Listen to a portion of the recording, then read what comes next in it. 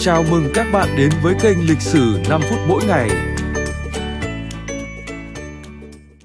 Video này sẽ cùng các bạn khám phá những bí ẩn của kỳ quan đấu trường La Mã. Đấu trường La Mã hay còn gọi là Colosseum là một công trình kiến trúc khổng lồ cho đến tận ngày nay. Người ta gọi đó là kỳ quan nhân loại bởi những điều tưởng như không thể lại có thể ở đây.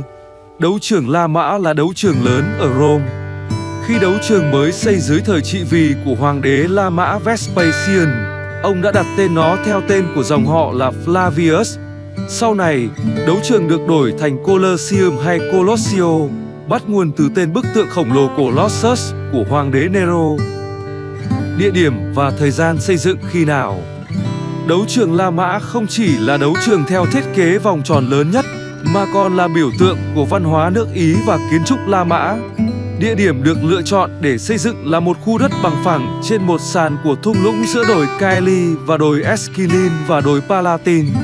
Tại trung tâm của Colosseum là Hippogium, một phần của mạng lưới ngầm, bên trên là sàn của đấu trường.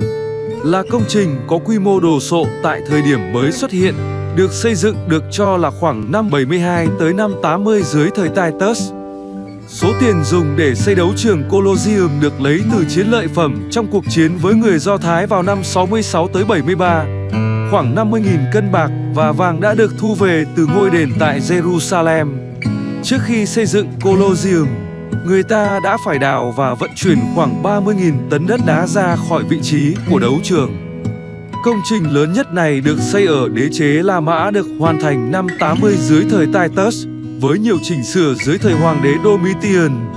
Nơi này được sử dụng cho các võ sĩ giác đấu và nô lệ có nguồn gốc tù binh chiến tranh thi đấu để trình diễn cho công chúng. Kích thước khổng lồ của đấu trường như thế nào? Được ví như một sân vận động thời Trung Cổ, có hình bầu dục, cao 48 mét, theo ước tính tương đương với một tòa nhà hơn 10 tầng, dài 189 mét, rộng 156 mét, người ta dùng tới 100.000 mét khối đá hoa cương để xây dựng. Lượng đá này đủ để xây 40 bể bơi kích thước chuẩn Olympic. Để giữ khối đá với nhau, người ta phải dùng các mối nối bằng sắt, nặng tổng cộng 300 tấn. Có tới hơn 25.000 mét khối vữa và sỏi trộn thành bê tông. Thời đầu, đấu trường có sức chứa tới 50.000 người.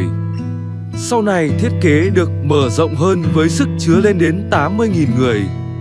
Có tổng cộng là 80 cửa, trong đó hai cửa dành cho hoàng đế, hai cửa dành cho các đấu sĩ, 76 cửa còn lại dành cho khán giả. Tất cả đều được đánh số, giúp khách có thể tìm thấy chỗ ngồi của họ.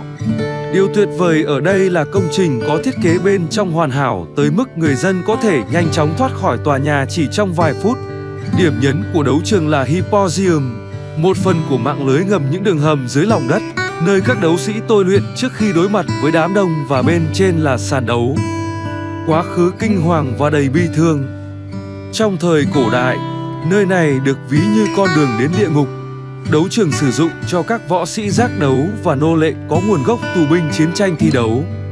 Theo ước tính, hơn 500.000 người và hơn 1 triệu động vật chết khi tham gia các trò chơi sinh tử đẫm máu ở đấu trường La Mã nhằm mua vui cho mọi người trong thời gian công trình này hoạt động đã có vô số câu chuyện bi thương được kể lại với những tình tiết kinh hoàng đẫm máu và nước mắt nơi đây.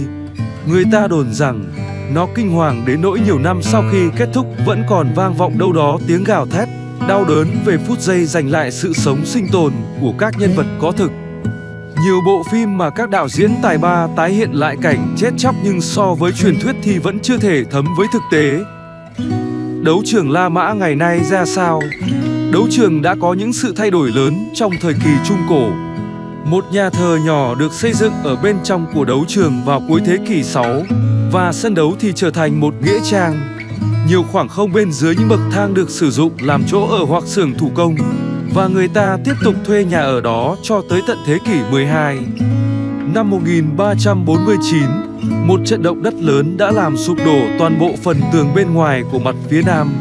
Qua hơn 2.000 năm, sau bao nhiêu thăng trầm của lịch sử, những thay đổi ít nhiều đã được tạo ra và hình thành một đấu trường La Mã Colosseum như ngày nay. Đấu trường La Mã ngày nay chỉ giữ được chưa tới một phần ba cấu trúc ban đầu nhưng vẫn thu hút hàng triệu du khách tới thăm mỗi năm. Điều gì khiến nơi này có sức hút đến vậy?